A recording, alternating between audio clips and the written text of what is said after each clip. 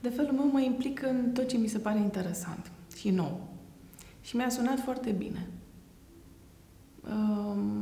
M-am implicat în toate programele care păreau să aducă ceva nou. Și simt nevoia de ceva nou tot timpul.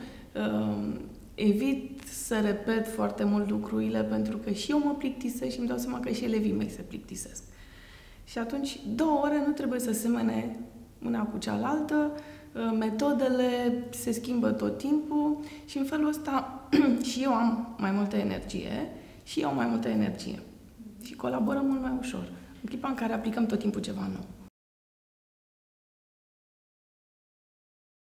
Am aflat foarte multe lucruri. Mai multe decât mă așteptam. Și e cel mai interesant program pe, pe, la, care am, la care am participat până acum. De departe e cel mai interesant.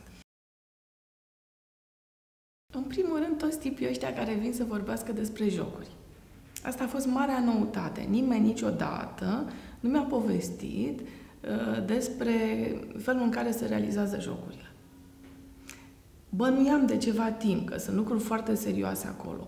Bănuiam că, de fapt, algoritmii sunt complicați. Intuiam cumva. Dar nimeni nu mi-a povestit niciodată de la A la Z ce se întâmplă acolo.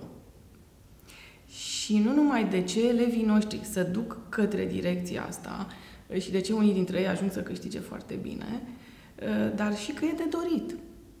Chiar e o direcție pe care eu în clipa asta intenționez să o implementez de săptămâna viitoare. Păi m-am gândit deja. Vreau să fac un, un proiect cu Proedus la tehnic, unde predau, și să organizez uh, și niște cursuri și niște concursuri în care să-i duc persoana asta uh, nu să se joace, ci să creeze jocuri. Și să le dezvolte și să învețe cum se fac lucrurile. Pentru că, mai ales la tehnic, unde elevii uh, sunt uh, foarte înclinați spre partea practică, au o mare deschidere pentru a face lucruri, să, să iasă ceva. Și este o direcție pe care iese ceva știi de unde pleci, îți place, te tentează și în loc să joci, ai ieșit un produs finit și îl joacă eventual colegii într-o primă fază. Mi se pare extrem de interesant și abia aștept.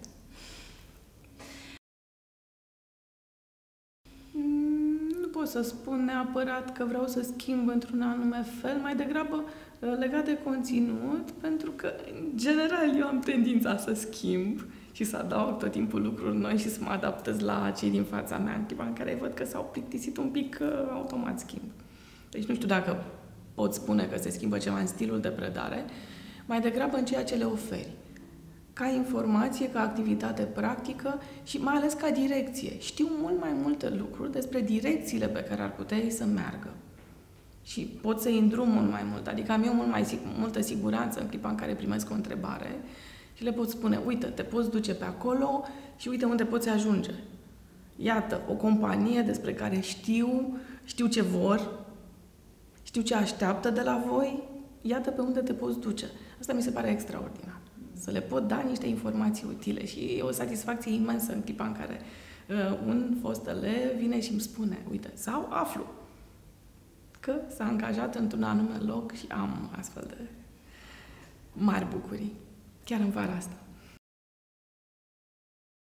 Doi dintre elevii mei s-au angajat uh, foarte repede, foarte repede. Asta înseamnă că le-am dat niște indicații um, și au um, setat pe open uh, contul de LinkedIn după ce l-am validat și eu un pic și n-a trecut nici măcar o săptămână până când au prins niște joburi foarte tari. Foarte tari. Amândoi.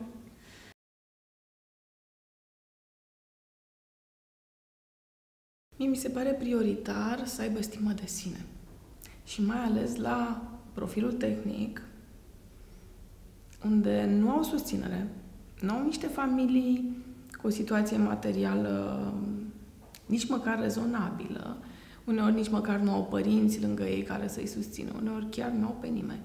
Și procentul este peste 80%. din ceea ce spun, au nevoie ca cineva să-i ajute să înțeleagă că au și ei o valoare. Și asta se vede. Se vede inclusiv în ținută. Vine așa, exact ca o broască testoasă și pleacă așa. Este și cazul celor doi.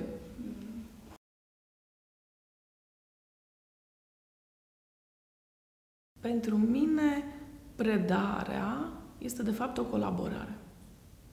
Țin foarte mult ca ceea ce explic să fie interactiv. Să nu vorbesc și apoi ei să aplice.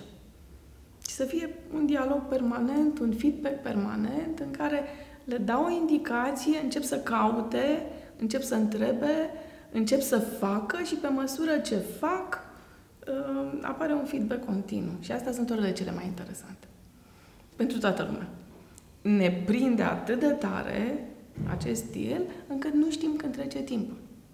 Nu știi când să sună, nu-ți vine să pleci în clipa în care să sună. Și am avut multe ore de acest gen.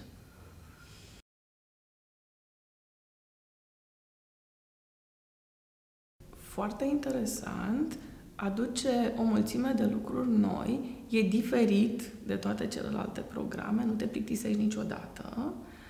Uh, poți pune întrebări, orice fel de întrebări, și ai șansa să primești și răspunsuri uh, și efectiv te îmbogățești.